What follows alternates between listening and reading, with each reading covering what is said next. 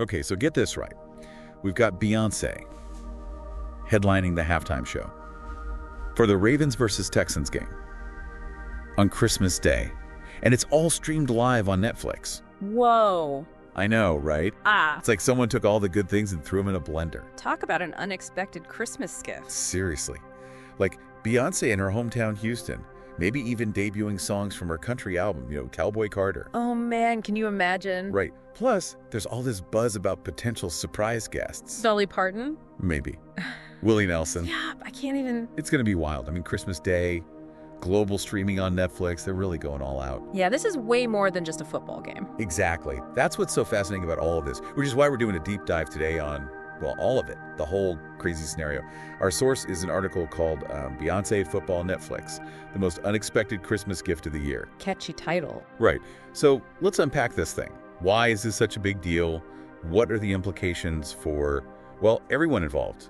You know, Beyonce, Netflix, the fans, the whole entertainment industry. What do you think? Well, first off, for Beyonce, this is huge. Think about it. Cowboy Carter, her whole country music thing, it kind of got mixed reviews, right? Yes, some people loved it. Some were like, huh. Exactly. So, what better platform to like shut down the haters and show everyone how versatile she is than a Christmas Day halftime show in her hometown? Talk about a power move. Right. And then the guest appearances. Like Dolly Parton. Come on. That would be legendary. And if Willie Nelson shows up, forget it. This could be one of those like career defining moments for her. I mean, she's already iconic, but And this could take it to a whole other level. yeah, totally. And it's so interesting that she chose this platform, of all things, to debut Cowboy Carter material. Right. Like, why not just a regular concert tour? Exactly. But here's the thing, right? This isn't just about Beyonce. Netflix is right in the spotlight here, too. They've been making a big push into live sports streaming.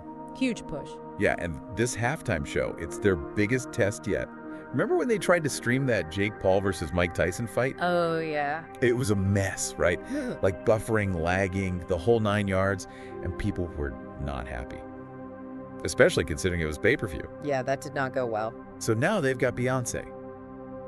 On Christmas Day, with millions of people watching worldwide, including the BeyHive. Who are, let's be honest, not known for their patience when it comes to technical difficulties. Exactly. Netflix has got to deliver a flawless experience this time. If they don't, it could be a disaster. No kidding. This is make or break for them. They're trying to become the go to for live entertainment, right? Sports, concerts, everything. But to do that, they need the technology to work seamlessly at scale. So what are we talking about here? Like what are the technical challenges they're facing? I mean, think about it. Millions of people all over the world trying to stream the same thing at the same time. That's a ton of bandwidth, right? And they need the infrastructure to handle it. They can't have any outages, no buffering, no lag. What about latency?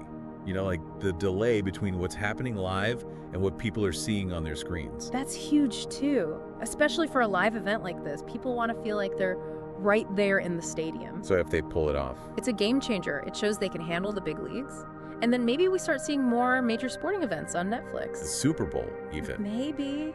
But if they fail, it's back to the drawing board. And potentially a big hit to their reputation. Definitely. This is a defining moment for them. It's crazy how much is riding on this one event.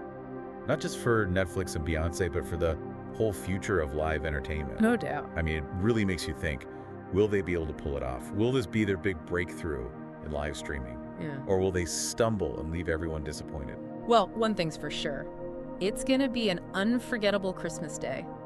Either way. You know what? You're right. Win or lose, this is going to be a moment in entertainment history. Yeah. The repercussions of this are going to be felt for years to come. This deep dive has really given us a lot to think about.